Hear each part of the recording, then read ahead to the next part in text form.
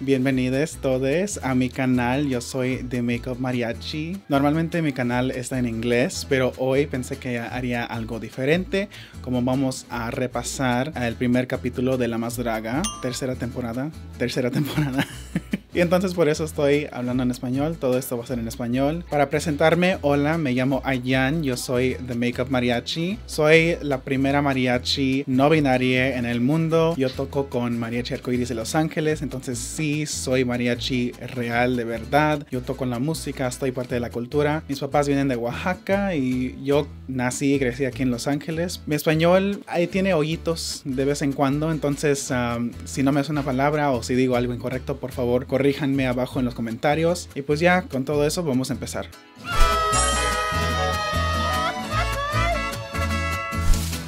Pues primero quiero dar un repaso nada más en general, cómo lo sentí. Si quieren adelantarse al repaso de los looks de cada draga y todo eso, pueden hacer clic abajo o no sé dónde algo en la pantalla.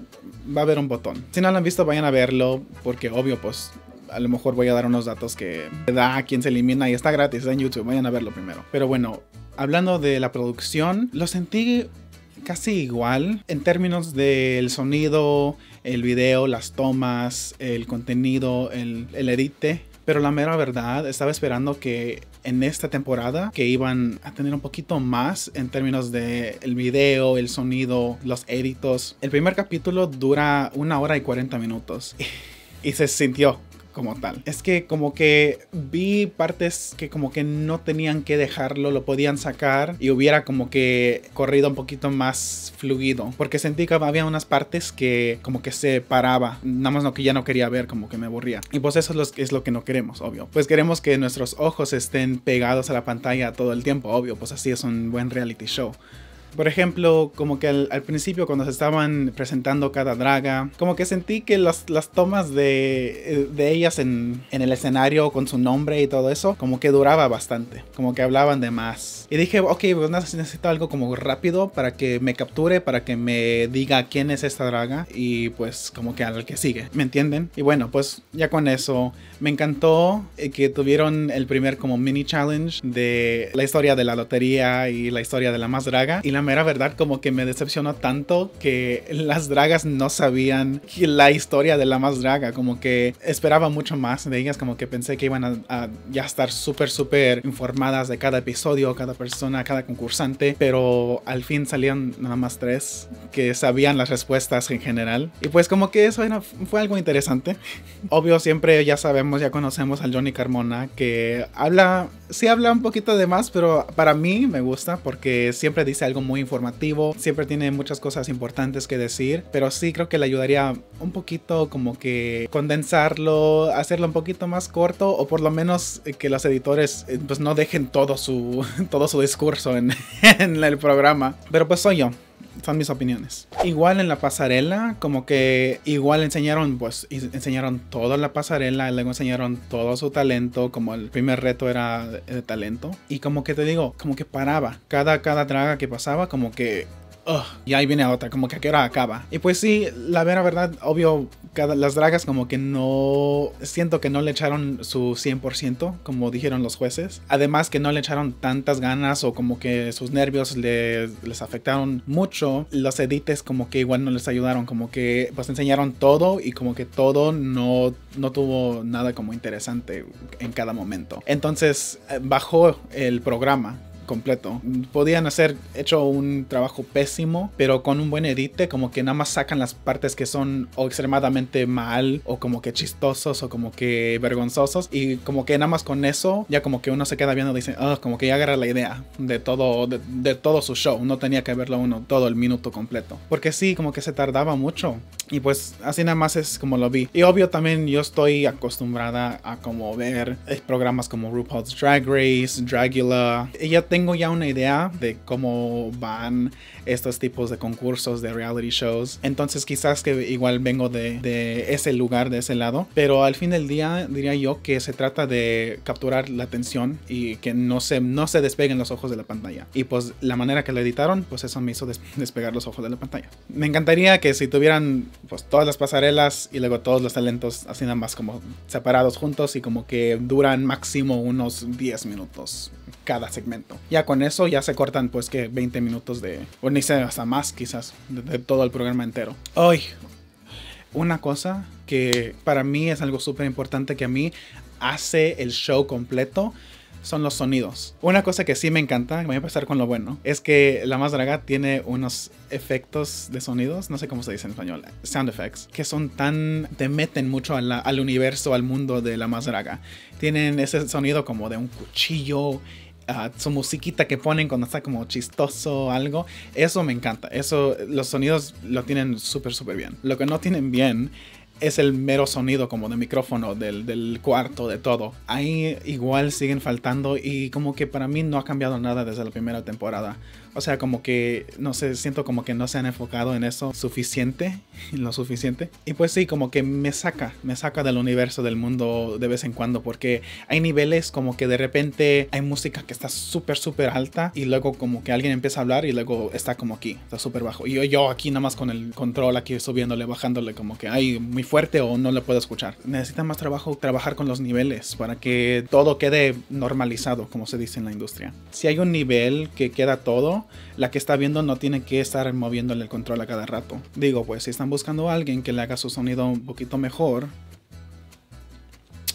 yo sé un poquito de sonido. Bueno, pues ya es suficiente con los regaños, ¿ok? Además de todo eso, la producción, la pasarela, el diseño, el diseño gráfico, maravilloso, maravilloso, bonito, no sé qué más decirle. Está súper bueno. Ahora vamos a hablar de cómo es que les fue a las dragas que están concursando y cuáles fueron mis opiniones de quién se hubiera ido y quién se hubiera quedado. So, y pues empezamos con Rudy Reyes, que para mí es una de mis favoritas dragas en el show. También voy a confesar, para mí ahorita mi referencia que tengo es uh, Canada's Drag Race. Si no la han visto, definitivamente véanlo. Fue un show maravilloso y pues si no lo han visto, espérense, vayan a verlo. Voy a divulgar quién ganó. La Rudy Reyes me da tanta energía como de Priyanka. Es tan energética, como dice que es la perla del Caribe. Tiene eso como que, no sé, me encantó verla. Su energía está maravillosa. Y su drag, pues, su drag no es nada especial en, términos del maquillaje, pero sí me gustó su vestuario y me encantó su performance. El gallo, empezando con el gallo número uno, salió con esas alotas gigantes, bonitas. Y pues su reto, digo, su, su talento fue un baile, un lip sync. Y pues para mí tuvo mucha energía, digo, aquí lo estoy viendo. Me, me, encantó, tuvo mucha energía, trabajó el escenario. Fue la mejor para mí, pues quedó en medio, un poquito más alto, pero en medio al, alto en medio, para mí. Pero me encantó.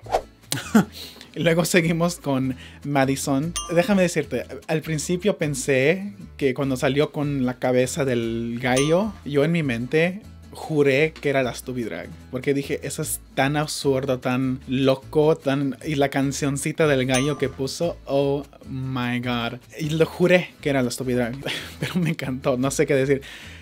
Sí hubiera querido que su pasarela hubiera sido algo un poquito más fabuloso, más glamoroso, porque pues usó el mismo vestuario para los dos. Entonces como que para mí digo, ah". Y pues cuando había Madison a la primera vez, cuando la presentaron y todo eso, para mí que era una reina, pues una queen muy, pues bonita.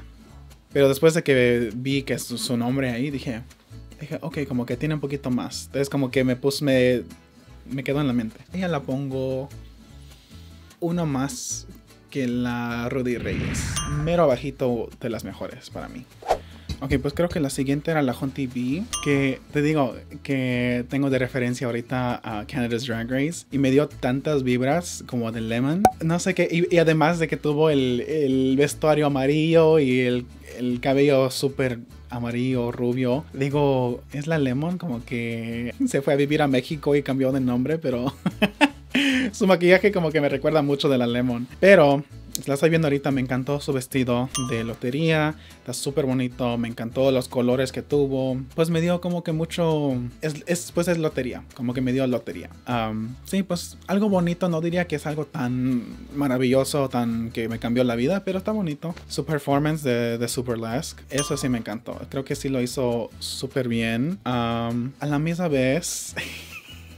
ya veo que como esos jueces como que no les pareció tan maravilloso. Digo, como que sí me dejó algo como que quería más. ¿Saben? Como que veo este clip aquí ahorita nada más y digo, pues sí, es un burlesque. Pues que no hay algo especial que me diga, oh, esta es la Home TV. Entonces, para mí, diría yo, queda abajito de Rudy Reyes. Y la que sigue, pues la que sigue fue la Luna Lanzman. Para mí, me gustó que interpretó más de una carta de la lotería, que era el camarón, que era el pescado y luego la sirena. Y luego al fin, cuando se quitó la sirena, como que dije yo, ¿y esta cuál es?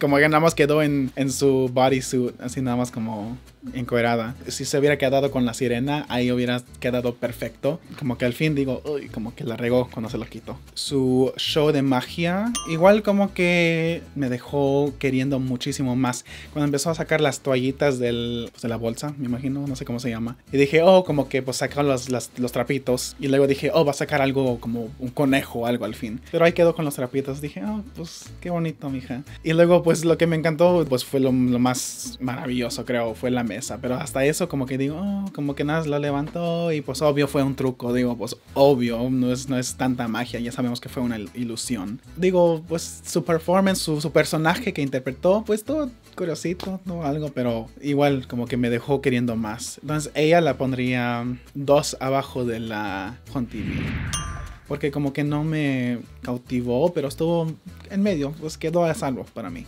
Y seguimos con Yayoi, Yayoi, ¿cómo se llama? Y seguimos con Yayoi Bowery, es una de mis favoritas. La estaba siguiendo en Instagram antes de que anunciaron que iba a estar en La Más Draga 3. Yayoi es una de mis favoritas, me encanta su maquillaje y su estilo de anime, de kawaii, me encanta todo lo que hace. Y por eso me decepcionó bastante verla en el escenario como que no, no le pegó, no, no llegó al nivel que, pues, que yo estaba esperando. Obvio, pues ahí estuvo su maquillaje, su vestuario, era todo ya yo pero no cupo al, al reto como que no llegó a representar el reto que le pusieron. Pues ya vieron que se vistió según como el mundo, el número 37. Lo juro, lo juro yo que no lo agarré, no lo entendí al principio. Hasta que no vi el número 37 y dije, pues ¿cuál número es ese? Y pues luego mi mamá hace rifas y pues ahí tienes en su pared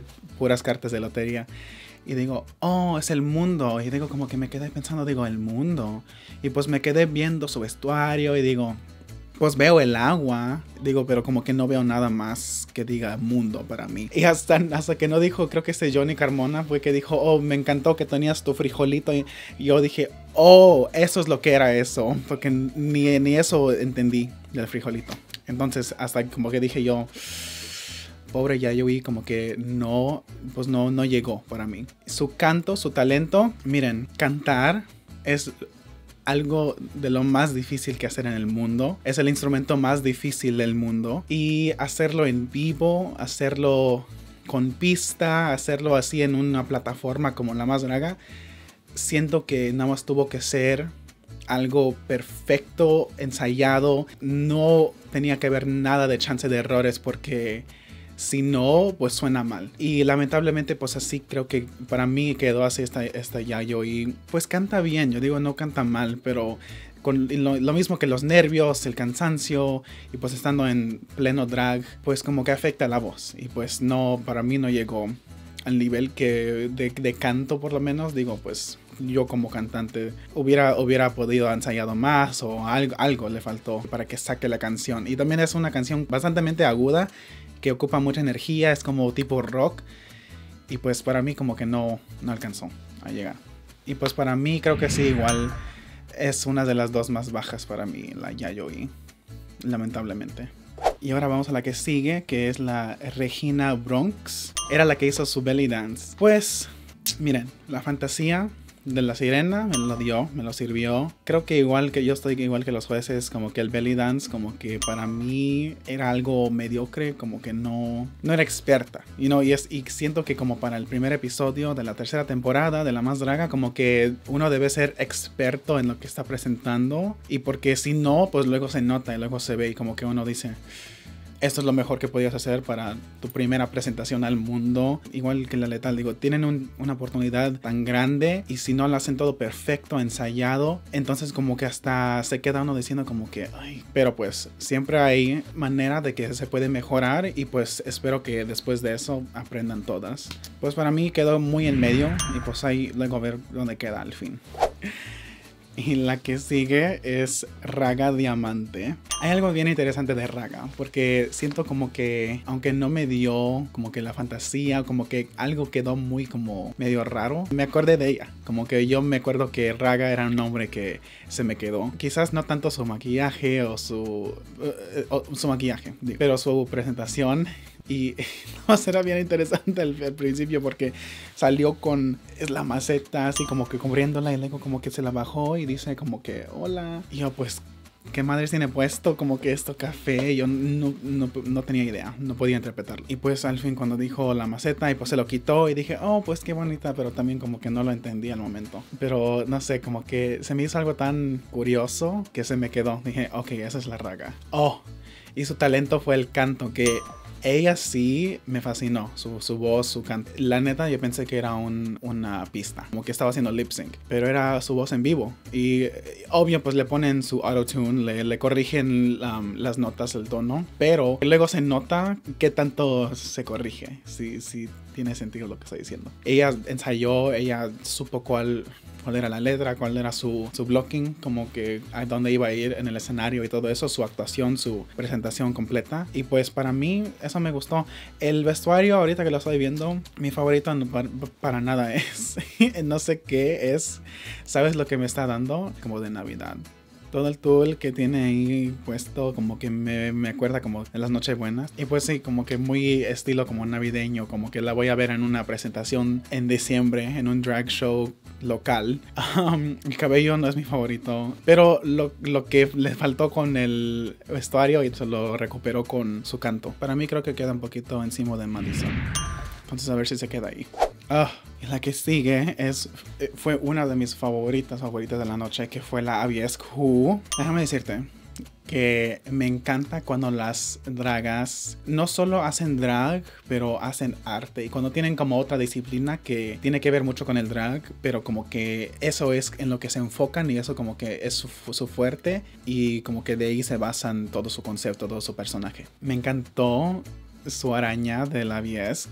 Oh my god no puedo respirar. me encantó las, ¿cómo se dice? Pues las, los lentes que se hizo, el caminar que tenía y como que sus, no sé, que sus garras, no sé cómo se dice, de, de araña y pues todo el vestuario. Lo que no me encantó fue su cabello, siendo como que había algo como no terminado o algo como que más no pulido de su cabello.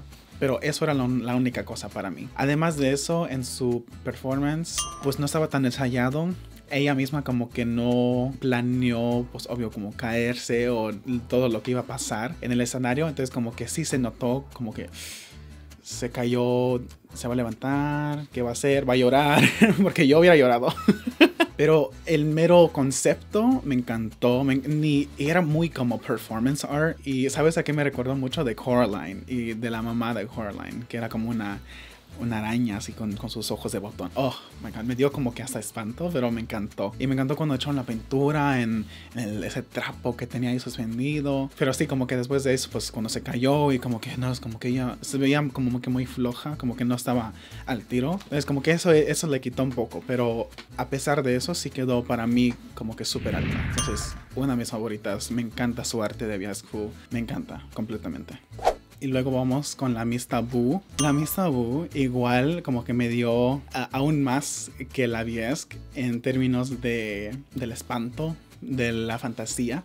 Creo que sí, como que me me llevó a su universo, su mundo de, pues, no sé, de horror, de darks, de, ni sé cómo describirlo, pero algo muy demónico. Lo estaba viendo con mi mamá. Hasta ella, ella misma dijo, ay, no me gusta, pero como que en serio, como que, porque eso, la, la voz que, que, estaba poniendo, como que se volvía más y más demónico. Y yo aquí como que viendo a mi mamá, como que, Oh, me encantó, me encantó. Para mí el maquillaje de Miss Taboo le falta un poco de pulir. A ese punto, obvio, cuando se filmó, no sé cómo estaría ahorita. Tengo que verla su Instagram. Como que, obvio, eh, pues su maquillaje es un poquito más oscuro, es un poquito más como um, grunge, pero siento que igual puede tener algo como más pulido. Siento como que el contorno, todo eso lo que hace, como que está un poquito, como que le falta, um, ¿cómo se dice? desfumarlo. Blend. Pero a pesar de eso, me encanta la fantasía que tuvo. Oh, y también el, el, negro que se pintó aquí, como que le quedó como que no entero. Y me hubiera encantado que nada más estaba todo como negro aquí. Como que si se viera que su cabeza estaría flotando. Creo que eso hubiera llevado la ilusión aún más allá. Pero a pesar de eso, me encantó. Me encantó la fantasía. Para mí creo que quedó arriba, pero como que de los más abajo. De los top 3 para mí. Hizo bien, hizo perfectamente bien, pero como que no quedó la más para mí. Ahora la que sigue, Ibiza Liosa. Miren, yo no sé si estoy tan de acuerdo con la Yari, pero también a la misma vez digo, sí, también me importa mucho eso. Ya ven que pues Yari la criticó mucho por lo que dijo que según sus resplandores que tenían que salir, pues como uno no salió y lo culpó a pues un, me imagino, alguien que trabajaba en el set. Y como que eso no le gustó. A cierto punto sí, como que pues obvio, tú eres, el, tú eres la que está en el escenario, pues lo que importa es tú, like al fin del día es tu culpa, eres tú.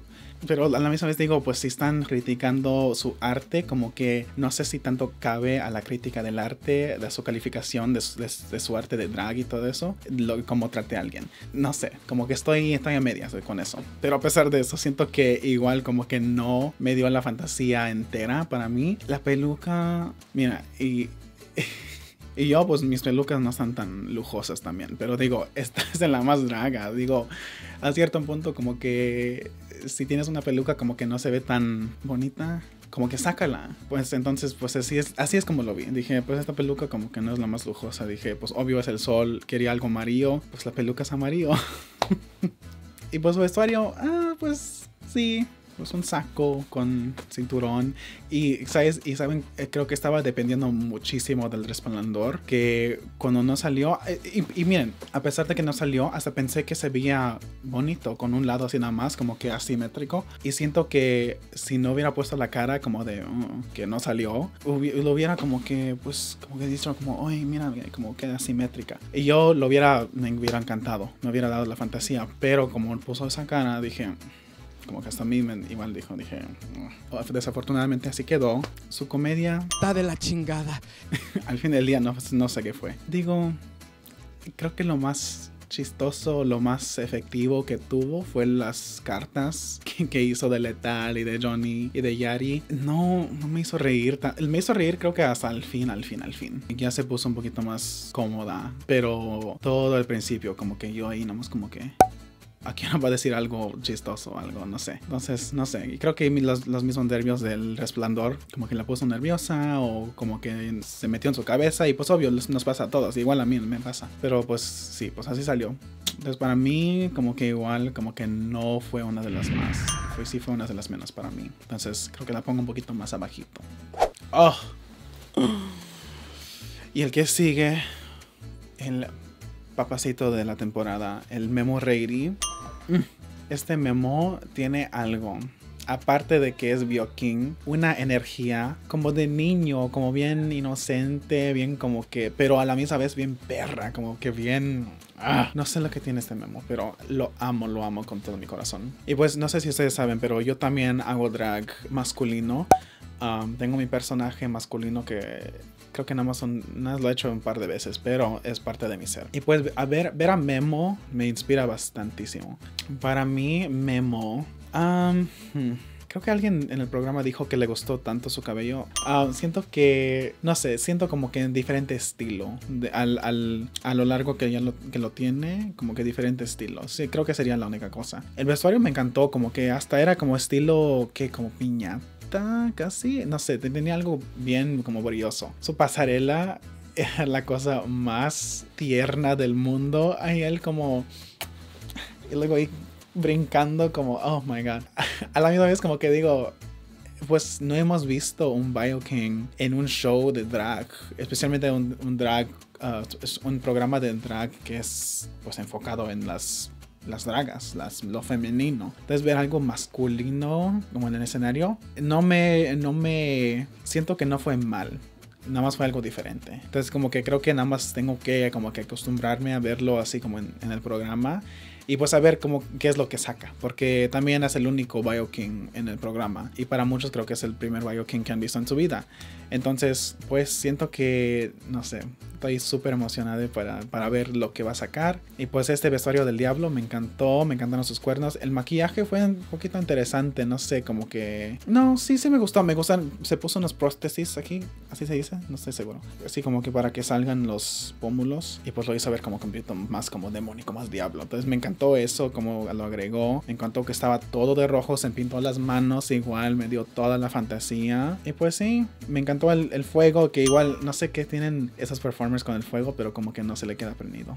Pues que no se apague, you para que no diga uno, se apagó. Para mí, Memo, ¿a dónde queda? Para mí siento que quedó el segundo para mí, un, un, segundo sólido. Ok, ya casi acabamos, nada más hay dos más. Sí, son muchas esta vez. Y algo que me asombró tanto también cuando este Johnny estaba hablando con las dragas la primera vez, que dijo que habían 14 originalmente, pero que alguien dice que, que dijo se pasó de, no sé, algo de la lengua, algo así. Y dije, pues ¿quién fue? Y dije, pues obvio no van a divulgar eso, pero yo como que, pues ¿quién fue? Yo quiero saber, quiero saber el chisme, pero completo. Ugh, pero qué escándalo. Anyway, la que siguió fue la Stupid Drag, que, ugh, Nada más déjame decirte que Pepe. Oh, es tan guapo. Like, y tan, tan guapo y tan lindo. Y. tengo un crush. Y también, solamente hablando de la Stupid Drag como personaje, como persona, me encanta que ya tiene su marca de la Stupid. Porque había un momento que estaba hablando y que dice, oh, pues, pues yo aquí, pues es que no entiendo, pues ya saben que son la Stupid. Y yo aquí como digo, oh my god, me encanta, ya tiene su marca, ya tiene todo, ya es la estúpida. Quiero enamorarme de estúpida, de Pepe.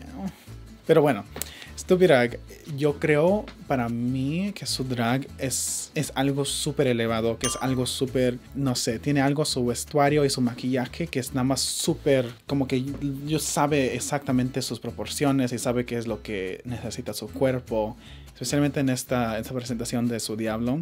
Okay, también, oh, ¿por qué todos se hicieron Diablo? Like, Diablo es lo más fácil de hacer. Like, como que podían ser un poquito más aventurosas. Me hubiera encantado si la asignaron a cada quien cuál carta de lotería que pudieran hacer. Porque, no sé, siento como que la libertad de escoger lo que quiera, pues obvio van a haber repeticiones porque hay unas cartas que son más populares o como que el personaje es más fácil de hacer en personaje de drag. Y pues ya vimos que pues la sirena, el sol, um, pues el diablo, como que fue muy fácil de hacerlo así como en drag. Pero pues está bien.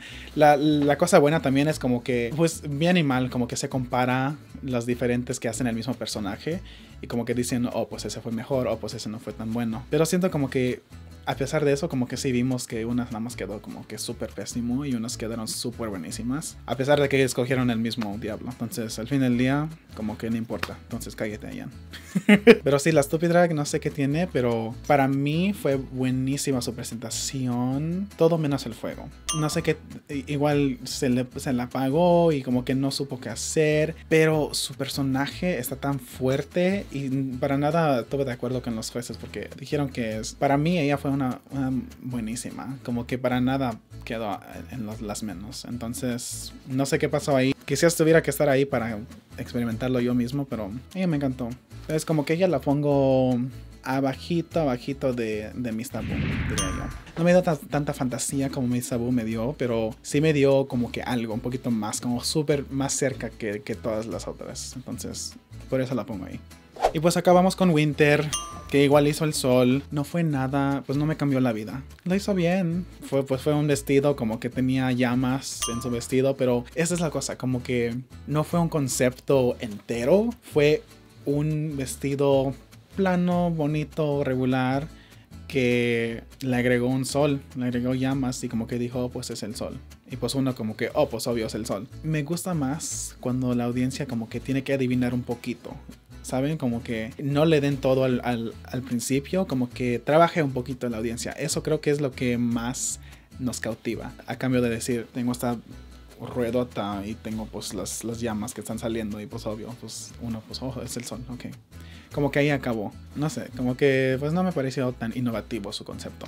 Lo que sí me gustó fue que tenía otra peluca abajo, pero como dijo ese Johnny, pues yo, yo casi no lo vi, pero obvio si alguien lo ve, pues ya se mató la ilusión. Como que si ve la otra peluca abajo de esa, por lo menos lo hubiera enrollado o algo para que no se vea para nada. Y ya cuando se lo quita, pues luego se cae. Ya puede hacer algo como así.